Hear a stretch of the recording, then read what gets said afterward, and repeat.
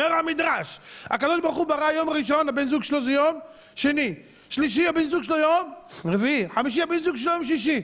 בא שבת, ריבונו של עולם, מי הבן זוג שלי? אני לבד, אני אשאר רווקה? אמרו לא, לא, לא, לא, יש לך בן זוג, מי זה? הדוסים. כפרה על הדוסים האלה. רבותיי, עם ישראל בן זוג של השבת, יש לנו בן זוג, אין לנו זוגות, הזוג שלנו זה השבת והזוג שלנו זה הבורא יתברך. אין לנו ידידים. הידיד האמיתי רבותיי זה הבורא יתברך. אנחנו לא מאמינים באף אחד. אין עם לבדד ישכון ובגויים לא יתחשב. וכבר אמרתי לכם כמה וכמה פעמים את המילים של היטלר, יימח שמו ויאבד זכרו, ישעקו עצמותיו בקבר. אתם יודעים מה הוא אמר? לא הייתה לי מעולם בעיה עם היהודי האותנטי. ככה הוא כתב בספר שלו. לא היה לי את הבעיה איתו. מי היה לי בעיה? אם היהודי האותנטי היה ממשיך ללמוד תורה ולשמור את השבת שלו ולא הפריע לי. הכי הכי הרגיז אותי שנהייתה אמנציפציה, שנהיה שוויון זכויות. ואז היהודים התחילו להיכנס לחלונות הגבוהים, ונכנסו לכל המקומות של גדולי הגרמנים, וזה הרגיז אותי, הרתיח לי את הדם, ויותר ראיתי אותם שמגיעים גם, אמרתי לכם, אתם יודעים מי היה מורו ורבו? מורו ורבו, חמורו ו... וחרבו של היטלר. זה היה לא אחר מאשר וגנר. אנשים רוצים לשמוע יצירות קומפוזיטוריות. וגנר, באך, מוצרט, באך, פלסטיק, אני יודע מה, רוצים לשמוע. מה קרה לך? אתה יודע איזה יצירה זאתי? של פאר היצירה? של וגנר? מי זה וגנר? אתה שומע את זה? אתה יודע מי זה האיש הזה? מורו ורבו של היטלר, איך לשנוא את עם ישראל, איך לרצוח אותם. הוא אומר, זה היה מורי ורבי שלימד אותי איך לשנוא את עם ישראל. אולי צריך שהוא ילמד אותו, כן, יימח שמו, הוא שונא גם כן. אבל הוא, אתם יודעים, פלפל לו את זה כמו שצריך. זה וגנר. רבותיי, אותו היטלר אומר, לא הייתה לי בעיה עם יהודי אותנטי. מה שהרגיז אותי הכי הרבה, זה שהם הגיעו לקונסרבטוריום שלנו, והיו מנגנים את היצירות שלנו, הפראי הדם האלה. תקשיבו מה הכי הרגיז אותו, והכי הכי הרגיז אותי, תקשיבו טוב רבותיי, בתקופה של היטלר, יימח שמו ויאבד זכרו, התחילה התקופה של ההשכלה, היה התקופה של ההשכלה. אתם יודעים מה זה היה השכלה? לאט לאט לגלח את התורה, להתחיל לעשות כמו רפורמים.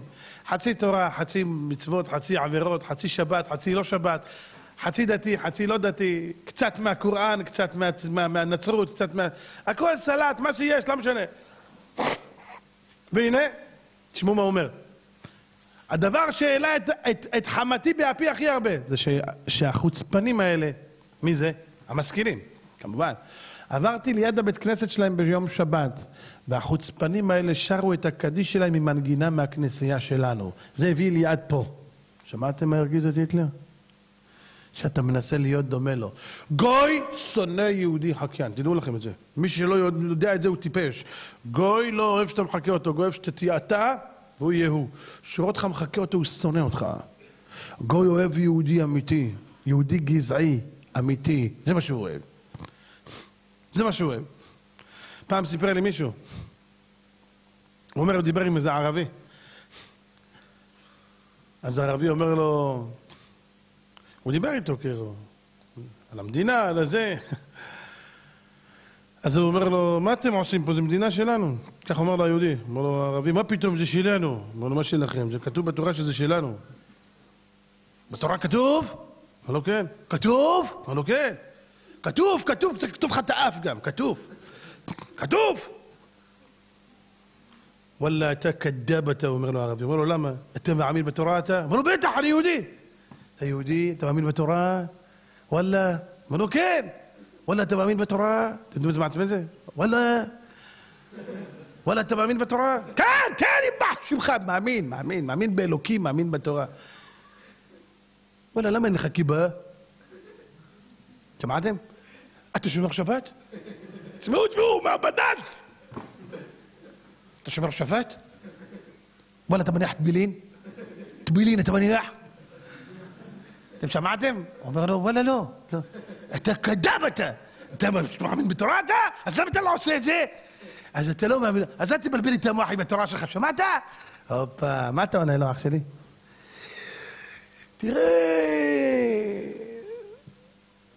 אני הולך לבית כנסת באזכרה של אבא שלי. תגיד לו, תגיד לו, תגיד לו. אני עושה השכבה, אני, אני מגיע, אתה יודע, בנעילה של כיפור.